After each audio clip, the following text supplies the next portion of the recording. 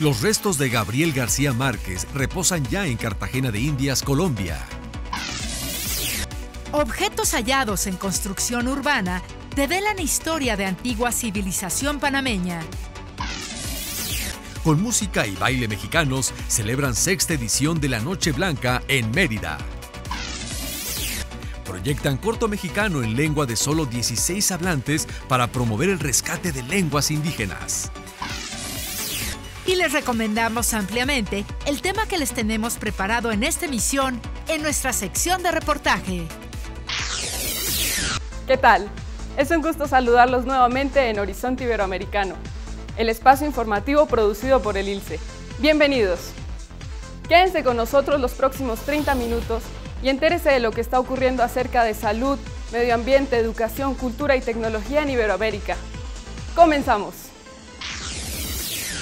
Luego de un viaje desde la Ciudad de México, llegaron las cenizas del afamado escritor Gabriel García Márquez a su natal Colombia. Veámoslo en la siguiente nota. Las cenizas del escritor colombiano Gabriel García Márquez fueron depositadas el pasado mayo en el claustro de la Merced en la ciudad de Cartagena de Indias, lugar en donde, según su amigo Juan Gozaín, él siempre quiso estar, luego de viajar desde la Ciudad de México lugar en donde el literato murió. En una ceremonia realizada en el claustro de la Merced, sede de la Universidad de Cartagena, donde también fue expuesta una escultura del autor de Cien años de soledad, el periodista Gozaín reveló que Gabo le había confesado que quería ser enterrado en esa ciudad. Como si fuera poco, esta es también la ciudad en donde están enterrados sus padres y sus hermanos, de modo que vuelve a juntarse ahora la familia completa, puntualizó el periodista al insistir en que este no es el último adiós a Gavito, sino la bienvenida a un amigo inmortal. La ceremonia contó con la presencia de varios de sus amigos, su viuda Mercedes Barcha, sus hijos Gonzalo y Rodrigo y algunos de sus nietos. Además participaron autoridades departamentales y representantes de los ministerios de Educación, Cultura y Relaciones Exteriores. El busto rodeado de flores amarillas, las favoritas de Gabo, fue hecho por la artista británica Cathy Murray y fue develado por Rodrigo y Gonzalo, hijos del escritor, en compañía del rector de la Universidad de Cartagena, Edgar Parra, quien agradeció a la familia el honor de acoger las cenizas de Gabo. Nuestra casa tendrá un motivo más para seguir creciendo en su misión. Aquí no tendremos el Gabo fallecido, sino al Gabo vivo, afirmó Parra, quien agregó que lo más memorable es saber que finalmente él regresó a la semilla, la ciudad en donde buscaba una morada en la cual no se sintiera extraño. La clausura del evento estuvo a cargo de Adolfo Pacheco, amigo de Gabo, quien interpretó Mercedes y el Mochuelo, dos de las canciones favoritas del escritor que falleció en abril de 2014 en México, país en donde vivió gran parte de su vida y donde se encontraban hasta ahora sus cenizas. Importante hallazgo en Panamá da cuenta de la forma de organización, así como de la cosmología de una de las culturas más representativas de la región. En la siguiente nota encuentra la información. Fueron encontrados recientemente artefactos tallados en oro, cerámica, piedra y resina en la localidad de El Caño, en Panamá. Estos restos pertenecen a la antigua civilización Coclé, asentada en la provincia de Panamá del mismo nombre. Según la arqueóloga Julia Mayo, las excavaciones que se desarrollan en la necrópolis develan cómo era la estructura social e identidad etnocultural de esta cultura prehispánica, que sobrevivió hasta principios del siglo XVII. Precisó que los objetos hallados muestran una sociedad sofisticada, marcial, jerarquizada y de gran sensibilidad artística, cuyos entierros y ritos funerales podrían ayudar a comprender el modelo social ejecutado en Río Grande. Las osamentas encontradas en dos sepulcros durante las excavaciones de 2009 y 2015 respectivamente ofrecen detalles sobre las prácticas funerarias de los Coclé, los ritos de las ofrendas y la trascendencia espiritual de la muerte, hechos que denotan la compleja estructura protocolar en torno a este tema. Para estos antiguos pobladores, la muerte daba pie a ceremoniales con el ideal quizás de conseguir que el alma de los difuntos se separara de su vida terrenal y arribara exitosamente al más allá, explicó Mayo. De acuerdo con la experta, los cementerios resultan una fuente de información importante para estudiar los arquetipos sociales. Y en ese sentido, las tumbas de El Caño comienzan a arrojar algunas pistas sobre sus ocupantes y la vida vivida. Adelantó que aunque los sepulcros encontrados en ese lugar son diferentes, también cuentan con elementos comunes. Son grandes fosas dentro de un aluvión, con entierros múltiples y ofrendas posteriores a la sepultura. Mayo relató que como parte de la investigación científica pudieron determinar que la osamenta hallada en 2009 en la fosa T2 pertenece a un guerrero de entre 40 y 45 años, considerado mayor para la época, mientras que en la T7, hallada en 2015, se trata de un niño. Los ajuares funerarios, por su parte, ofrecieron información sobre el rol social dentro de la sociedad, que en el caso del guerrero trascendió que tras fallecer, primero lo vistieron y luego lo disecaron, ceremonia que contemplaba otros pasos, apuntó. Pese a los hallazgos para la especialista, el caño aún no termina de contar su historia pasada. Por ello tiene pensado explorar bajo el suelo donde se encuentran los monolitos, para así comprender mejor este complejo mundo. Comunicar es conectar a la gente con la información y el entretenimiento, con la cultura y el conocimiento, con la salud y el bienestar.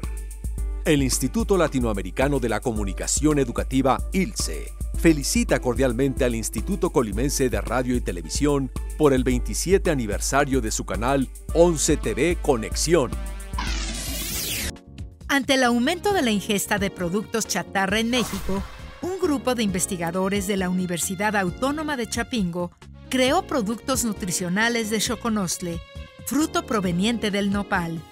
Parte de la gastronomía ancestral mexicana, el choconostle es rico en vitaminas A, C y K y en minerales como el calcio, magnesio, hierro y potasio. Además ayuda a reducir los índices de triglicéridos, colesterol y a controlar la glucosa. En una investigación realizada con el Instituto Nacional de Ciencias Médicas y Nutrición Salvador Subirán, se comprobó que la botana controla los niveles de colesterol y triglicéridos en quienes consumen una porción de 200 gramos de producto liofilizado de choconostle. También se hizo una prueba con niños de entre 12 y 14 años. De la muestra de 100 menores, 94 expresaron que la volverían a consumir porque se les hacía agradable al paladar. Nuestro nicho son los niños y a ellos les gusta mucho el producto, precisó Álvarez Castro, la Organización Mundial de la Salud y la Organización Panamericana de la Salud señalan que México es el cuarto país consumidor de chatarra y el primero en América Latina, debido a que una persona ingiere en promedio 212 kilogramos de esta por año. Un total de 125 mil niños de 550 escuelas uruguayas desarrollan hábitos de lectura mediante el proyecto denominado Biblioteca Solidaria del Consejo Directivo Central, Odicen, impulsado actualmente por la Administración Nacional de Educación Pública. Esta iniciativa es coordinada por el equipo de Programa de Lectura y Escritura en Español PROLE, y a cada centro escolar participante le entregan una colección de 64 libros y cuatro guías para su implementación. Además, los 11.000 docentes intervinientes reciben cursos virtuales y talleres vinculados a la lectura. El proyecto, que lleva ya cuatro años de aplicación, promueve que los estudiantes cultiven el hábito de leer, aprendan y se enriquezcan con esta práctica.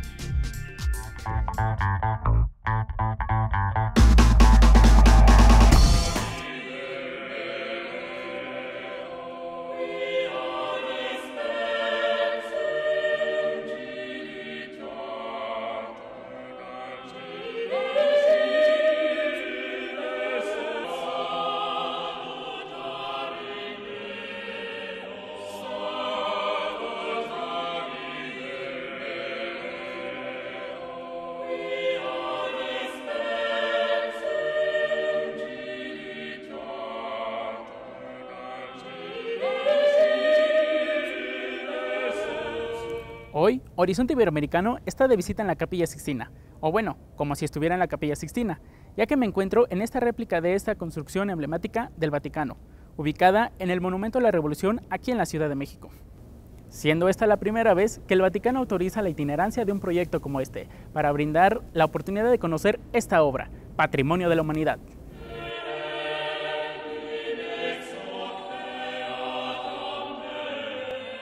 El montaje consta de una estructura compuesta por secciones con reproducciones fotográficas del interior de la capilla, más de 2.700.000 fotografías digitales impresas sobre tela sublimada y colocadas dentro de un armazón de 22 metros de altura por 67 metros de largo y 28 de ancho, que abarca una superficie total de 510 metros cuadrados, según dio a conocer el gobierno de la Ciudad de México.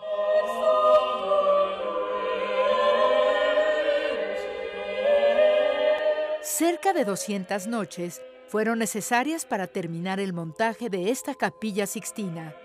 En esta operación participó la Guardia Suiza Pontificia, la Dirección de Servicios de Seguridad y Protección Civil de la Ciudad del Estado Vaticano. El acceso fue concedido por el prefecto de la Casa Pontificia, Georg Vansbein, entre otros personajes relacionados con el resguardo y custodia de la capilla. También colaboró Sandro Barbagallo, experto en historia del arte, como asesor histórico para el desarrollo museográfico. La capilla sixtina original se encuentra al costado derecho de la Basílica de San Pedro en Roma.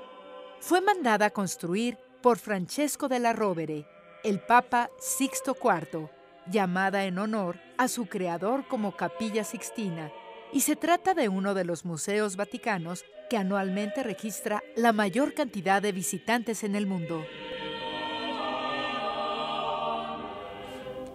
Hola, ¿qué tal? Me encuentro con Gabriel Benumen, Jorge Salazar y Pablo Calles, quienes son director general de la exposición, el arquitecto y el escenógrafo de la réplica de la Capilla Sixtina, ubicada en el Monumento a la Revolución, aquí en la Ciudad de México. Muchas gracias por recibirnos. Gracias. Cuéntame, ¿cómo surgió la idea de hacer una réplica itinerante de la Capilla Sixtina y cómo fue México el país elegido para iniciar con el recorrido? Bueno, este sueño crece hace dos años cuando llevamos la artesanía de Oaxaca a la Ciudad del Vaticano para poder regalárselo al Santo Padre. Hacemos un nacimiento y adornamos el árbol de Navidad. En ese momento una artesana de Oaxaca ingresa a la capilla Sixtina y se pone a llorar. empezamos a sentir el sentimiento de la artesana, hablamos con la gente de, los museos vaticanos que si podíamos hacer nosotros una réplica, empezamos a hacer los, los trámites junto con la gente de cultura, relaciones exteriores, nuestros patrocinadores Banorte y Maseca, para poder construir este gran recinto. ¿Podrías explicarnos a grandes rasgos cómo fue el proceso tanto de la manufactura de las piezas que conforman este pabellón, tanto como del montaje? Claro, bueno, aquí se forma una, familia. Eh, tenemos a Jorge Salazar, que es nuestro ingeniero estructural, tenemos a Pablo Calles, que es nuestro arquitecto en toda la parte escenográfica, tenemos a Miriam Villalobos, que es la productora en cuestión de ambientación. Eh, en conjunto empezamos a dar nuestras ideas para poder llevar a cabo este, este recinto. En la parte estructural te voy a pasar a, Jorge, que es el que es, es, el experto en esta parte. Claro, sí. ¿Qué tal? Bueno, pues nosotros nos tardamos dos meses en preparar toda la, estructura, en ingeniería, cálculo, para que tuviera esta altura de 27 metros de alto por 30 de ancho y 70 de fondo. Y bueno, el otro gran reto fue construirlo en 10 días. Entonces la verdad es que está, fue un, reto bastante grande y pues con el apoyo de, Gabriel y de Miriam, pues aquí, estuvimos. Y pues para darle toda la, la, estructura para que el Señor hiciera su obra de arte.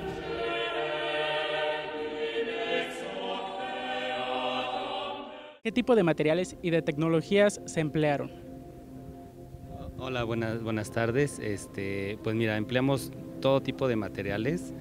Eh, desde metal, madera, resinas, tela, eh, plásticos. Es una combinación de muchas áreas de trabajo, desde arquitectura, diseño industrial, diseño gráfico. Son muchas ramas que se conjuntan en este espacio para, dar, para darle vida a todo, ¿no? desde el exterior hasta el interior. Entonces, este, son materiales y, especialidades que están dentro de la empresa. Además del tamaño natural de la capilla Sixtina, se presenta una exposición audiovisual que, lleva que ilustra la historia de esta obra. Eh, ¿Qué nos pueden decir al respecto? Bueno, eh, al momento de nosotros ingresar a la capilla original, no tenemos un guía como tal. Entonces, al, momento, al decidir traer la réplica de la Capilla Sixtina al pueblo de México y saber que estamos eh, creciendo la cultura, tratamos de mandar las, las, escenas más importantes de los frescos de Miguel Ángel con la parte auditiva. Entonces por eso cuando tú entras al salón empiezas a sentir la atmósfera de la iluminación y el audio. ¿Qué significa para los mexicanos el poder apreciar una exposición de estas características? Bueno, primero nos tenemos que sentir orgullosos de, por, por primicia, ser el primer país que tiene la capilla Sistina en, en su tierra. Que el Vaticano haya otorgado un permiso de esta magnitud para México. O sea, estamos entrelazados entre, entre Vaticano y México. O sea, el pueblo ha querido desde el Papa Juan Pablo, Benedicto y a la fecha ahorita el Papa Francisco. Y yo creo que una parte de agradecimiento del Vaticano es dar ese, ese permiso y ese registro de esta belleza. ¿Cuál es el procedimiento para obtener el acceso a esta exposición? Eh, bueno, el acceso te puedes subir a la página de www.superpase.com, eh, seleccionen el día, seleccionen el horario, es completamente gratis y solo les pedimos que sí tengan paciencia porque realmente se están abarrotando los horarios, eh, hemos tenido hasta filas de una hora de espera y si no pueden estar en, la liga, pueden venir a la, taquilla y se les entregan pases gratis. Todo es completamente gratis, pero la espera en taquilla general es de dos horas.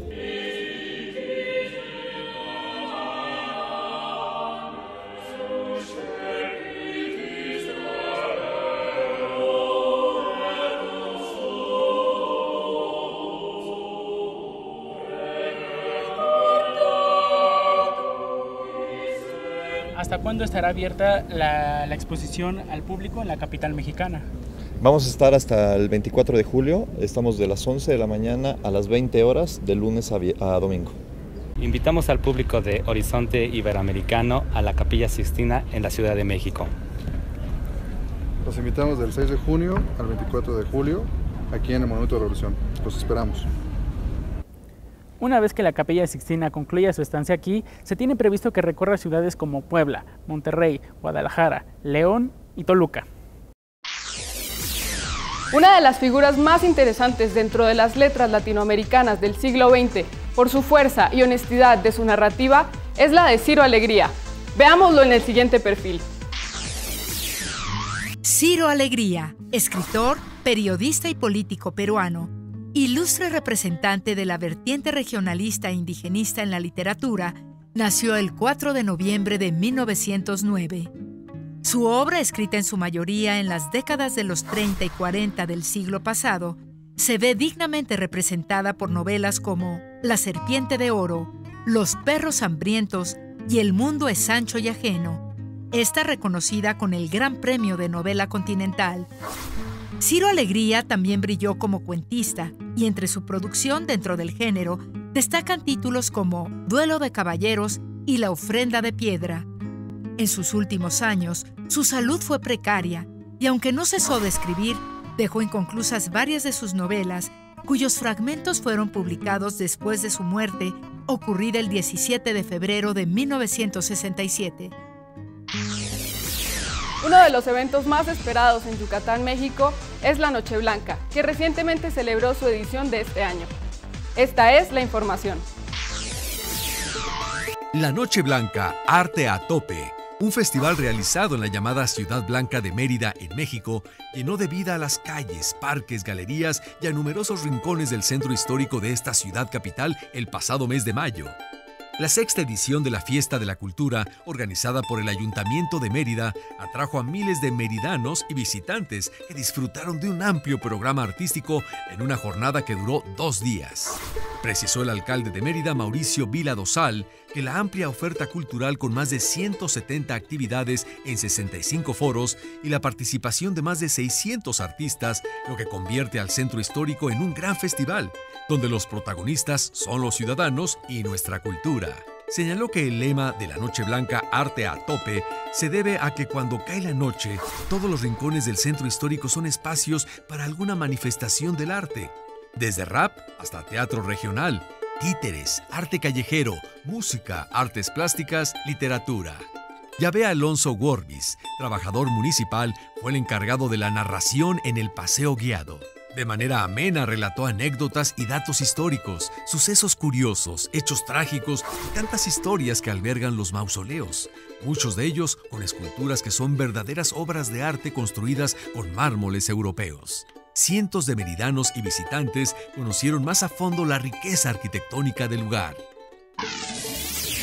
La dibujante y pintora estadounidense radicada en Yucatán desde hace 40 años, Georgia Charujas, exhibe por primera vez en la Ciudad de México su obra en la exposición Adentro del Espejo.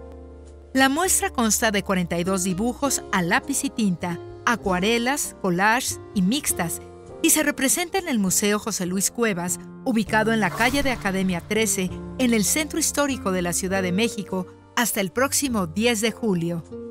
Ya que la expositora no pudo viajar a la Ciudad de México por motivos de salud, Carlos García Ponce, director ejecutivo del Museo Fernando García Ponce Macay y la Fundación Cultural Macay, instancias promotoras de la exhibición, explicó que la temática del artista se basa en las visitas de seres que recibe, ya sea en sus sueños o en soñaciones, cuyos rostros registra en sus papeles.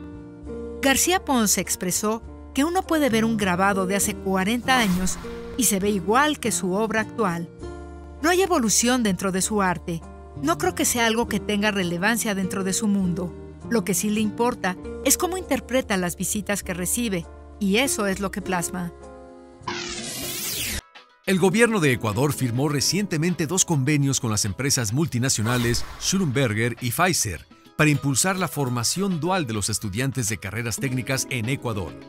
Según la Secretaría de Educación Superior, Ciencia, Tecnología e Innovación, CENESID, a través de los convenios firmados se garantiza que los alumnos se formen a partes iguales en las aulas universitarias y en las empresas. En el caso de Schlumberger, se busca desarrollar acciones que permitan la implementación de las carreras técnicas y tecnológicas a través del uso de la infraestructura de esa transnacional líder en servicios petroleros, con la finalidad de que los estudiantes puedan realizar sus prácticas curriculares bajo la modalidad de formación dual, apuntó la CENESID en un comunicado. El texto agrega que otro punto a destacar es que esta multinacional está interesada en potenciar y desarrollar carreras enfocadas en su campo profesional y se compromete a brindar el asesoramiento técnico a los institutos superiores tecnológicos públicos. La farmacéutica Pfizer brindará, por su parte, asesoría a los institutos para la elaboración de las mallas curriculares de las áreas de biotecnología y química y desarrollará programas de formación continua para capacitar en temas de calidad total, buenas prácticas de manufactura, sistemas de calidad ambiental y el cumplimiento de estándares nacionales e internacionales. Según la CENESID, el acuerdo impulsará la implementación de proyectos relacionados con carreras técnicas o tecnológicas superiores en áreas de biotecnología, química y salud.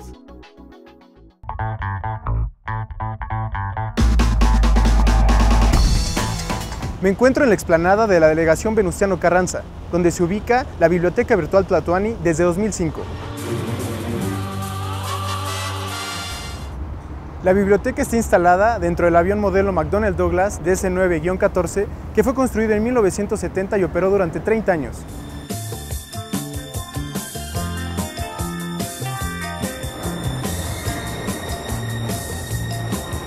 Su ubicación se eligió considerando que fue en esta delegación y concretamente en los antiguos llanos que hoy son la colonia Jardín Balbuena, donde se inició la aviación en México hace ya más de 100 años. Vamos a verlo.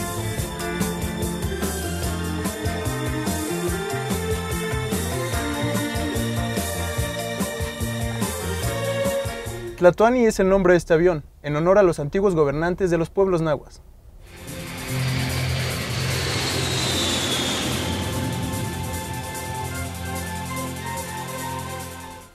En su interior cuenta con computadoras con simulacro de vuelo, acceso a internet, enciclopedias y alrededor de mil libros para que niños, jóvenes y adultos echen a volar su imaginación.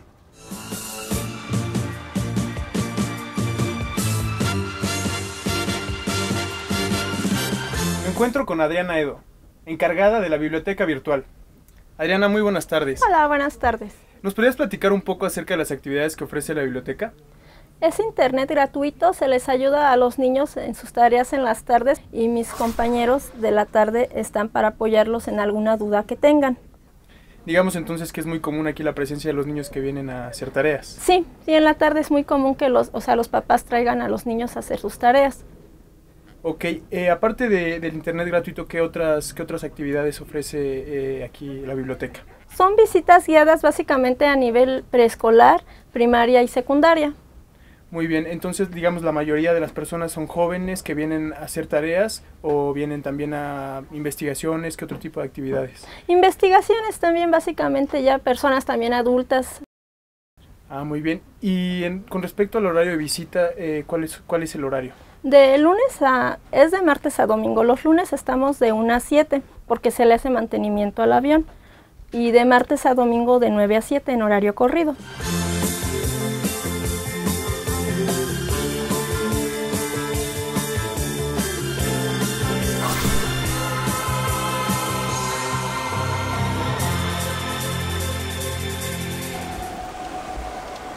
Buenas tardes, ¿están bien o quieren que se les active el aire acondicionado?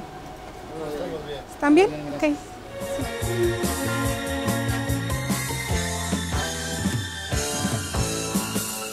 Invitamos al público de Horizonte Iberoamericano a que venga a conocer esta biblioteca virtual.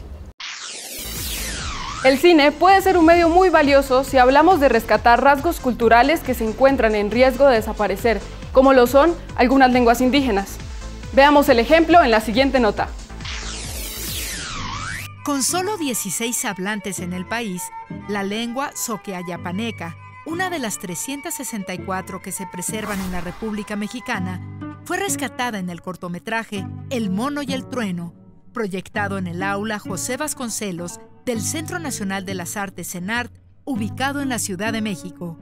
En un acto enmarcado en el Día Mundial de la Diversidad Cultural para el Diálogo y Desarrollo, celebrado recientemente, fue presentado este material animado, narrado por Manuel Segovia, Isidro Velázquez, Manuel Segovia Hijo y Cirilo Velázquez, con subtítulos en español. A partir de 2002, se adoptó la Declaración Universal de la UNESCO sobre Diversidad Cultural.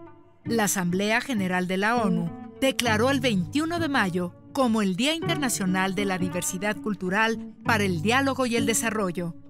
En su oportunidad, Javier López Sánchez, director general del Instituto Nacional de Lenguas Indígenas, INALI, destacó que la lengua es una gran articuladora de la parte afectiva del ser humano y por supuesto de la cognición. La diversidad cultural, expuso, es una característica notable e inherente de la sociedad mexicana. Es decir, todos son diversidad, es lo que caracteriza a la sociedad y la enriquece como nación. Nos sentimos muy honrados de presentar el resultado de un proyecto de base comunitaria, un proyecto como el cortometraje, a través del cual podremos escuchar y acercarnos a una de las 364 lenguas indígenas de México, una lengua en alto riesgo de desaparecer por contar solo con 16 hablantes, expresó el funcionario. La cerámica negra de Jinotega y Matagalpa es una manifestación representativa del arte popular de Nicaragua, que les invito a ver en las siguientes imágenes.